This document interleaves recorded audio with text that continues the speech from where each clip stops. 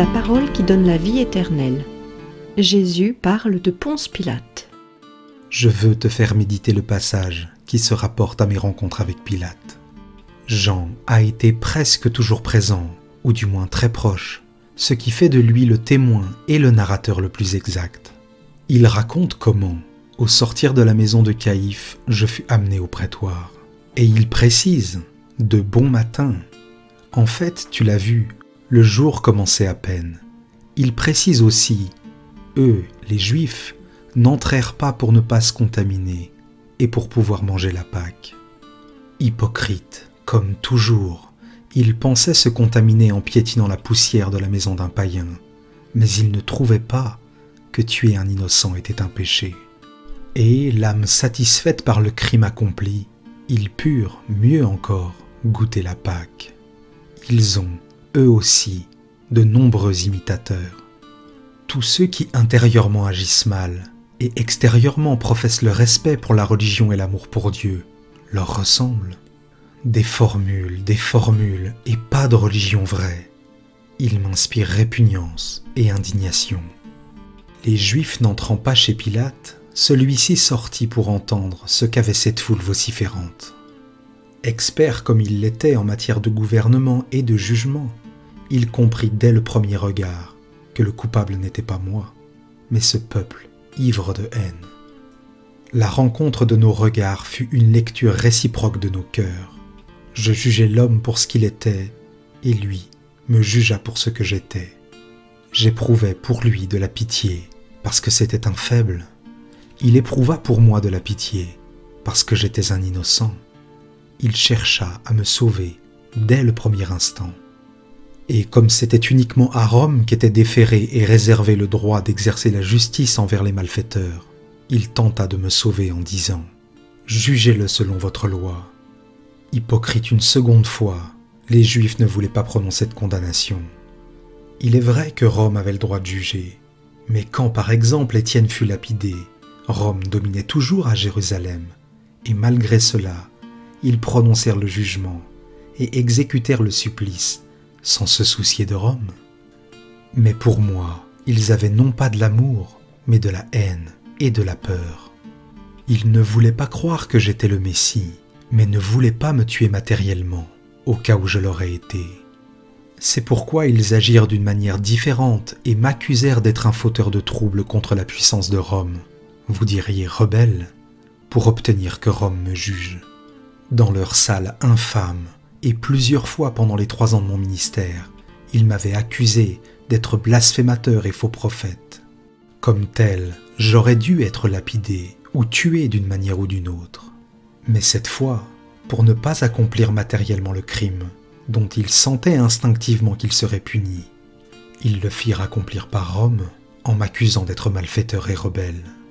Rien de plus facile quand les foules sont perverties et les chefs soumis à Satan que d'accuser un innocent pour défouler leur passion de férocité et d'usurpation, et de supprimer celui qui représente un obstacle et un jugement. Nous sommes revenus au temps de cette époque. De temps en temps, et toujours après une incubation d'idées corrompues, le monde explose en de telles manifestations de perversité. Comme si elle était toute en état de gestation, la foule, après avoir nourri dans son sein son monstre avec des doctrines de fauves, le met au jour pour qu'il se révèle, qu'il dévore d'abord les meilleurs, puis se dévore elle-même. Pilate rentre au prétoire, m'appelle auprès de lui et m'interroge. Il avait déjà entendu parler de moi. Certains de ses centurions répétaient mon nom avec un amour reconnaissant, les larmes aux yeux et le sourire au cœur, et parlaient de moi comme d'un bienfaiteur. Dans leur rapport au prêteur, lorsqu'on les interrogeait sur ce prophète qui attirait à lui les foules, et prêchait une doctrine nouvelle qui traitait d'un royaume étrange, inconcevable à une mentalité païenne. Ils avaient toujours répondu que j'étais un homme doux, bon, qui ne cherchait pas les honneurs de cette terre, et qui inculquait et pratiquait le respect et l'obéissance aux autorités. Plus sincère que les Juifs, il voyait la vérité et déposait en sa faveur. Le dimanche précédent, attiré par les cris de la foule, il s'était avancé sur la route et avait vu passer sur une jeune ânesse un homme désarmé qui bénissait, entouré d'enfants et de femmes. Il avait compris que cet homme n'aurait pu constituer un danger pour Rome. Il veut donc savoir si je suis roi. Avec son ironique scepticisme païen, il voulait rire un peu de ce roi qui chevauche un âne, qui a pour courtisans des enfants nu-pieds, des femmes souriantes, des hommes du peuple. Ce roi qui depuis trois ans prêche qu'il ne faut pas avoir d'attirance pour les richesses et le pouvoir, et qui ne parle d'autre conquête que celle de l'esprit et de l'âme. Qu'est-ce que l'âme pour un païen? Même ces dieux n'ont pas d'âme, et l'homme pourrait-il en avoir une? Maintenant aussi ce roi sans couronne, sans palais, sans cour, sans soldats, lui répète que son royaume n'est pas de ce monde. C'est si vrai qu'aucun ministre et aucune troupe ne se lève pour défendre leur roi et l'arracher à ses ennemis. Pilate, assis sur son siège, me scrute. Je suis une énigme pour lui. S'il débarrassait son âme des soucis humains, de l'orgueil de sa charge, de l'erreur du paganisme, il comprendrait tout de suite qui je suis. Mais comment la lumière pourrait-elle pénétrer là où trop de préjugés bouchent les ouvertures pour empêcher la lumière d'entrer? Il en est toujours ainsi, mes enfants. Maintenant encore, comment Dieu et sa lumière pourraient-ils entrer là où il n'y a plus de place pour eux, là où les portes et les fenêtres sont barricadées et défendues par l'orgueil, l'humanité, par le vice, par l'usure, par tant de gardiens au service de Satan contre Dieu? Pilate ne peut comprendre ce qu'est mon royaume, et ce qui est plus douloureux, il ne demande pas que je le lui explique. À mon invitation à lui faire connaître la vérité, lui, l'indomptable païen, répond Qu'est-ce que la vérité? Et il laisse tomber la question en haussant les épaules. Oh mes enfants, mes enfants, mes Pilates de maintenant, vous aussi, comme Ponce Pilate, vous laissez tomber en haussant les épaules les questions les plus vitales. Elles vous semblent inutiles, dépassées. Qu'est-ce que la vérité? De l'argent? Non. Des femmes Non. Le pouvoir Non. La santé physique Non. La gloire humaine Non. Dans ce cas, laissons-la tomber. Cette chimère ne mérite pas que l'on court après elle. Argent, femme, puissance, santé, confort, honneur, voilà des choses concrètes, utiles à aimer et à atteindre de toute façon. C'est ainsi que vous raisonnez. Et pire en cela qu'Ésaü, vous troquez les biens éternels pour un aliment grossier qui nuit à votre santé physique et qui vous nuit pour votre salut éternel. Pourquoi ne persistez-vous pas à demander Qu'est-ce que la vérité? Elle, la vérité, ne demande qu'à se faire connaître pour vous instruire à son sujet. Elle est devant vous comme pour Pilate, et elle vous observe avec les yeux d'un amour suppliant en vous implorant. Interroge-moi, je t'éclairerai. Tu vois comme je regarde Pilate? Je vous regarde tous ainsi. Et si j'ai un regard d'amour pour celui qui m'aime et demande à entendre mes paroles, je considère avec un amour affligé celui qui ne m'aime pas, ne me cherche pas, ne m'écoute pas. Mais c'est toujours de l'amour, car l'amour est ma nature. Pilate me laisse là où je suis sans m'interroger davantage, et il va trouver les mauvais qui parlent plus fort et s'imposent par leur violence. Et il les écoute, ce malheureux qui ne m'a pas écouté, et qui a repoussé d'un haussement d'épaule mon invitation à connaître la vérité il écoute le mensonge. L'idolâtrie, quelle qu'en soit la forme, est toujours portée à respecter et à accepter le mensonge, quel qu'il soit. Et le mensonge, accepté par un faible, l'amène au crime. Cependant, Pilate, sur le seuil du crime, veut encore me sauver à plusieurs reprises. C'est alors qu'il m'envoie à Hérode. Il sait bien que le roi rusé, qui louvoie entre Rome et son peuple, agira de manière à ne pas blesser Rome et à ne pas heurter le peuple juif. Mais comme tous les faibles, il recule de quelques heures la décision qu'il ne se sent pas en mesure de prendre, dans l'espoir que l'émeute se calmera. Je vous l'ai dit, que votre parole soit oui, oui, non, non. Mais lui ne m'a pas entendu, ou si quelqu'un le lui a répété, il a haussé les épaules comme d'habitude. Pour triompher dans le monde, pour obtenir honneur et profit, il faut savoir faire un non d'un oui, ou un oui d'un non, selon que le bon sens humain le conseille.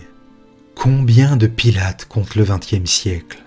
Où sont les héros du christianisme qui disaient oui, constamment oui, à la vérité et pour la vérité, et non, constamment non, au mensonge Où sont les héros qui savent affronter le danger et les événements avec la force de l'acier et avec une sereine promptitude et sans atermoiement? Car le bien, il faut l'accomplir tout de suite et fuir tout de suite le mal sans mais et sans si. À mon retour de chez Hérode, Pilate a tenté une nouvelle transaction, la flagellation. Qu'espérait-il? Ne savait-il pas que la foule est un fauve qui devient plus féroce à la vue du sang? Mais je devais être brisé pour expier vos péchés de la chair, et je fus brisé. Il n'y a pas une partie de mon corps qui n'ait été frappée. Je suis l'homme dont parle Isaïe. Et au supplice ordonné par Pilate s'ajouta celui qui ne l'était pas, mais qui fut suscité par la cruauté humaine, les épines. Vous le voyez, homme, votre sauveur, votre roi, couronné de douleur pour vous libérer la tête de tant de fautes qui y fermentent Réfléchissez-vous à la torture qu'a subie ma tête innocente pour expier pour vous pour vos péchés toujours plus atroces de pensées qui se transforment en actes Vous qui vous offensez même quand il n'y a pas de motif de le faire, regardez le roi offensé. Et il est Dieu, avec son dérisoire manteau de pourpre déchiré, son sceptre de roseau et sa couronne d'épines. Il a beau être déjà mourant, il le fouette encore de leurs mains et de leurs moqueries, et vous n'en éprouvez pas de pitié comme les Juifs, vous continuez à me montrer le poing et à crier Dehors, dehors, nous n'avons pas d'autre Dieu que César. Ô idolâtre qui n'adorez pas Dieu, mais vous-même, et parmi vous celui qui est le plus autoritaire, vous ne voulez pas du Fils de Dieu. Pour vos crimes, il ne vous aide pas. Satan est plus serviable. Aussi vous préférez Satan. Du Fils de l'homme, vous avez peur, comme Pilate. Et quand vous le sentez vous dominer par sa puissance et s'agiter par la voix de la conscience qui vous fait des reproches en son nom, vous demandez comme Pilate, Qui es-tu? Qui je suis? Vous le savez, même ceux qui me nient savent ce que je suis et qui je suis. Ne mentez pas. Vingt siècles m'entourent, mettent en lumière qui je suis et vous font connaître mes prodiges. Pilate est plus pardonnable Pas vous, qui avez un héritage de vingt siècles de christianisme pour soutenir votre foi ou pour vous l'inculquer, et ne voulez rien savoir. Pourtant je me suis montré plus sévère avec Pilate qu'avec vous. Je ne lui ai pas répondu. Avec vous je parle, et malgré cela, je ne réussis pas à vous persuader que je suis le Christ, et que vous me devez adoration et obéissance. Vous m'accusez même d'être votre ruine, parce que je ne vous écoute pas. Vous dites que vous perdez la foi à cause de cela. Ô menteur, où est-elle votre foi? Où est-il votre amour? Quand donc priez-vous et vivez-vous avec amour et foi? Êtes-vous des grands? Rappelez-vous que vous êtes tels, parce que je le permets. Êtes-vous des anonymes dans la foule? Rappelez-vous qu'il n'y a pas d'autre Dieu que moi. Personne n'est plus grand que moi, et personne n'existait avant moi. Rendez-moi donc ce culte d'amour qui me revient, et je vous écouterai, car vous ne serez plus des bâtards, mais des enfants de Dieu. J'en viens à la dernière tentative de Pilate pour me sauver la vie, en admettant qu'il ait pu la sauver après l'impitoyable et illimitée flagellation que j'ai subie. Il me présente à la foule, voilà l'homme, je lui fais humainement pitié il espère dans la pitié de la foule. Mais devant la dureté qui résiste et la menace qui avance, il ne sait pas accomplir un acte surnaturellement juste et bon par conséquent, et dire ⁇ Je le libère parce qu'il est innocent, c'est vous qui êtes coupable, et si vous ne vous dispersez pas, vous allez connaître la rigueur de Rome. C'est cela qu'il devait dire s'il avait été juste, sans calculer le mal qui pouvait lui en venir par la suite. Pilate n'est pas vraiment bon. Longinus l'est, lui qui, bien que moins puissant que le prêteur et moins défendu, il est au milieu du chemin entouré de peu de soldats et d'une multitude ennemie. Ose me défendre, m'aider, m'accorder du repos, me réconforter par la présence des saintes femmes, demander l'intervention de Simon de Cyrène pour m'aider, et enfin permettre à ma mère de venir au pied de la croix. Celui-là fut un héros de la justice et devint ainsi un héros du Christ. Sachez-le, ô homme qui vous préoccupez uniquement de votre confort matériel, Dieu intervient même pour ses besoins quand il vous voit fidèle à la justice, qui est une émanation de Dieu. Je récompense toujours celui qui agit avec rectitude. Je défends celui qui me défend. Je l'aime et le secours. Je suis toujours celui qui a dit, qui donnera un verre d'eau en mon nom, aura sa récompense. À qui me donne de l'amour, cette eau qui désaltère mes lèvres de martyr divin. Je me donne moi-même avec ma protection et ma bénédiction.